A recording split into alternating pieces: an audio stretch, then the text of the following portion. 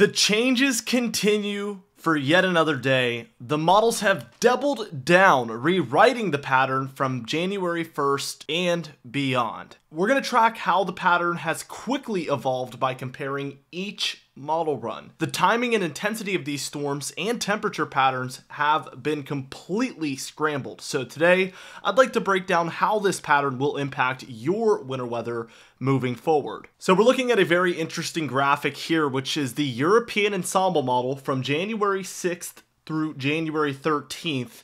And it's not changing by time of the projection, it's actually changing by model run. So we can see how this has trended warmer and warmer and warmer, going from a cold pattern straight to a torch pattern in the east within four model runs. And remember, there's two a day, so this is 48 hours of model runs right here that we're looking at. And also take note of the west, how they've gone from a warmer pattern expected all the way to a colder pattern expected. It's absolutely mind-boggling. And I'm not going to spend as much time today complaining about it. I know I had a pretty negative perception of these changes, and it does suck. I'm not going to lie, but we're going to just break down what to expect and where to go from here. And something I'm taking note of is what's funny is actually the Arctic and what we would call the NAO territory, which is going to be Greenland, Iceland, and kind of this North Atlantic area. And then again, here's the Arctic. I'll put a plus symbol up there. These have all gotten way, way more favorable as warmer air is pushing northward into these regions. That is actually a favorable look for cold and snow. What has gotten significantly less favorable is this western area look, and this has gone from a positive PNA look to a negative PNA look, which is unideal for cold and snow in the east. This is a really bad look and probably has a lot to do with why we're seeing a free flow of not Arctic air, but actually more tropical, humid air so just unideal for cold and snow. Uh, and here is uh, the ensemble extended.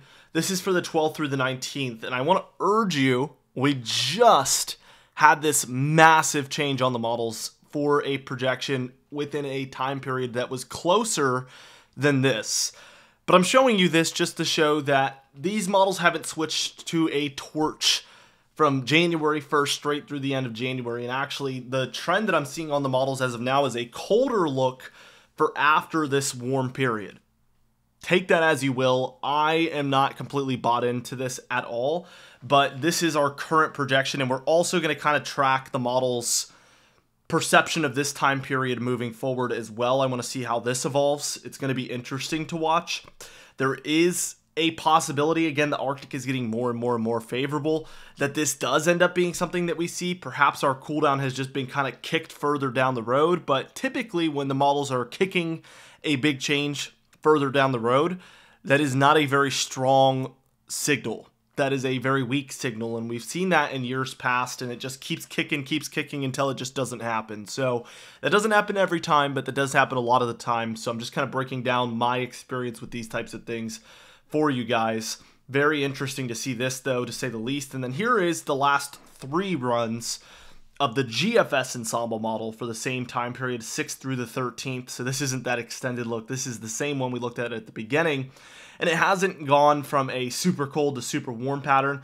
Uh, but it is getting progressively warmer model run by model run. So a lot of you and even me had a little bit of hope, like 5% hope that somehow this would turn around very quickly and go back to what it was showing, but it's actually just continuing to worsen uh, every single model run. As of now, I've seen things like this, you know, wobble back and forth with what they're thinking. Uh, but as of now, we are headed in the wrong direction for cold and snow, not the right direction.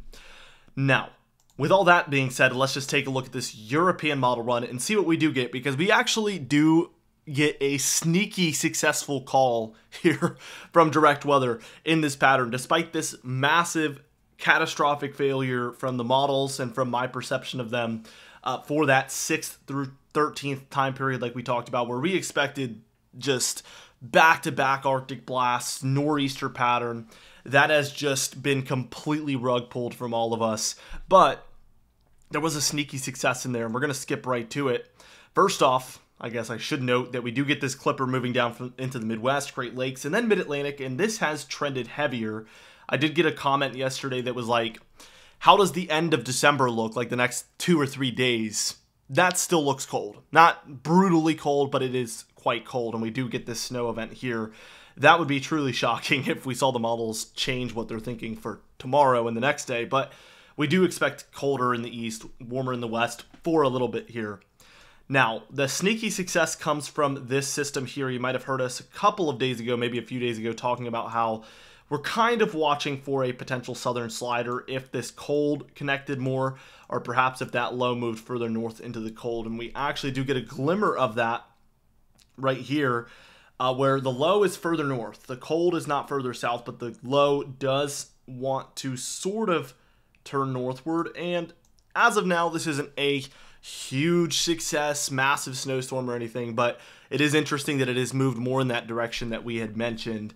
Um, a little bit of wintry weather. This would not be significant, like I mentioned. This would be likely in the form of some snow showers. Maybe if this continued to trend in that direction, maybe it could be somehow a one to three inch snowfall event, but not looking like a major event. But it has been cool to see something go right. Now, as we move forward from that point, this is where the big changes come. A big ridge wants to build in the east here uh, by the 6th, 7th, which is just so ironic considering this was actually a signal time frame for massive cold and nor'easters. So this is night and day difference. And we see a storm system move through similar areas. I guess loosely you could say that, but if you consider this a similar area to this, then I guess they are similar. But that is a massive shift in what we're expecting. And this ends up being a Canadian snowstorm with maybe a little bit of high elevation activity in the Northeast. But regardless, nothing huge. And then there's our cooldown. You can see this has uh, completely been obliterated. Um, this was originally expected to be a deep diving trough. Clearly a much different picture being painted now.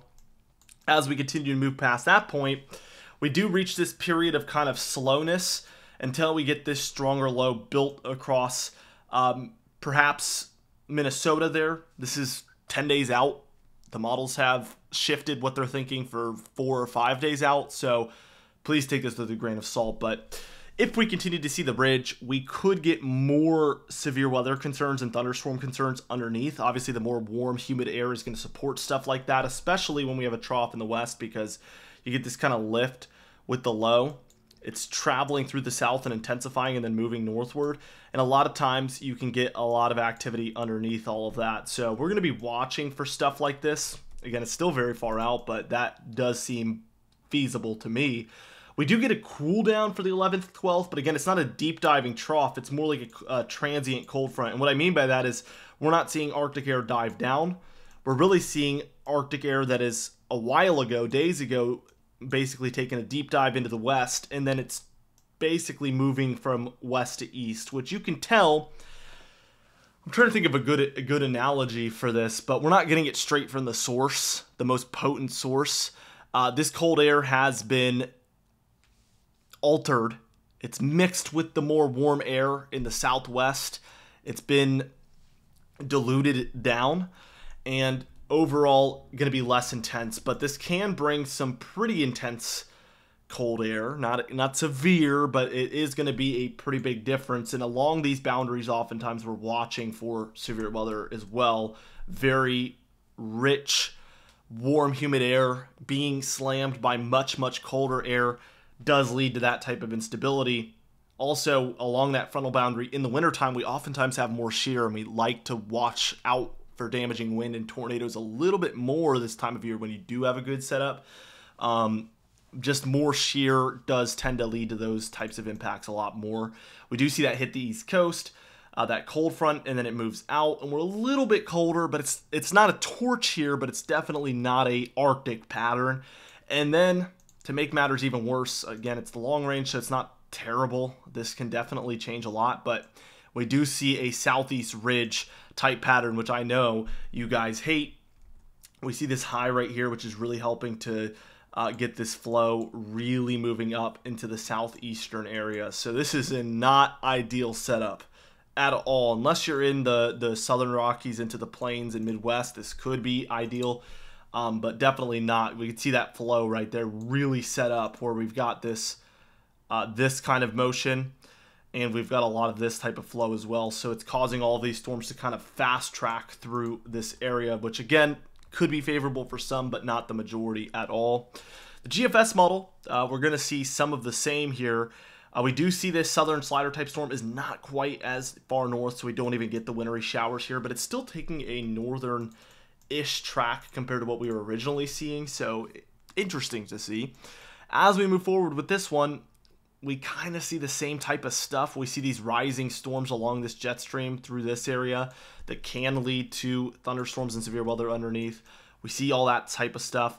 A snow system there for the Midwest and Great Lakes would not surprise me one bit if it looked exactly this way, which I am more doubtful than normal for this time period. Keep that in mind.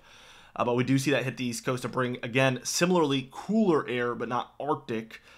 And we do, on this GFS model, break away from the southeast ridge look. We don't really get that quite as much here. And we actually do get some true Arctic air, but way far out. Again, kicking it further and further and further down the road isn't a good look.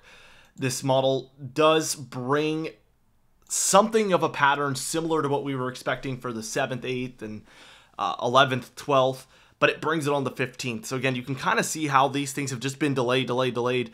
Um, and typically, that's not a good sign, as I've mentioned throughout this video. But we do get what looks to be a very far south and offshore nor'easter that wants to bring a minor snowfall event here to the lower mid Atlantic.